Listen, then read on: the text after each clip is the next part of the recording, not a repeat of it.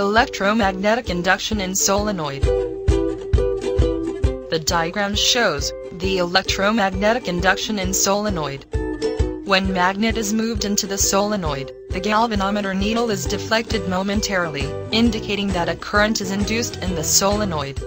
When magnet is moved out of the solenoid, the galvanometer needle is deflected momentarily but in the opposite direction, indicating that an induced current flows through the solenoid in the opposite direction.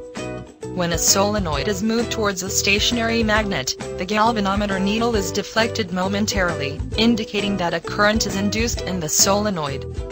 If solenoid is moved away from a stationary magnet from inside the solenoid, the galvanometer needle is deflected momentarily but in the opposite direction, indicating that an induced current flows through the solenoid in the opposite direction. If the magnet is stationary in the solenoid, galvanometer needle remains in the center zero position, indicating that no current is produced. The observation of the experiment shows that current is induced in a solenoid when there is relative motion between the solenoid and the magnet.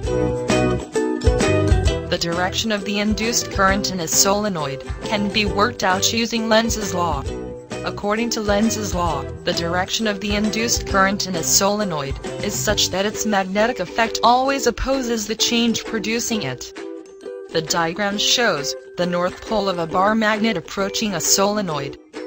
According to Lenz's law, the current which is thereby generated in the coil must cause an effect, which opposes the approaching magnetic field.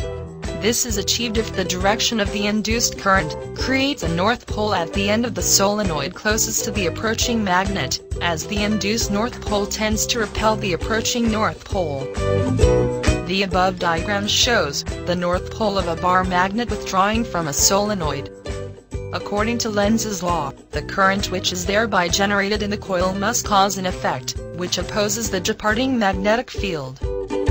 This is achieved if the direction of the induced current creates a south pole at the end of the solenoid closest to the departing magnet, as the induced south pole tends to attract the departing north pole. Thank you for taking time to watch this.